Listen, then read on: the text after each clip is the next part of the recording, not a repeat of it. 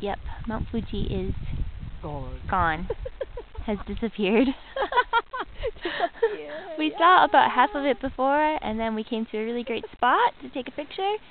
But by the time we got here, the clouds had covered it completely.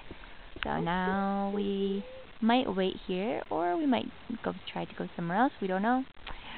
We hope it will come back.